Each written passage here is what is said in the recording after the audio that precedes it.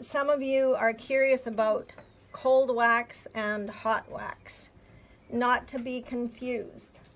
Cold wax is lives up to its name. It's cold. You do not fuse it. You should not fuse it. It has solvent in it.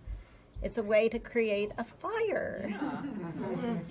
Hot wax, on the other hand, is beeswax with some resin in, and it is fused and must be fused, and it's worked in a molten state.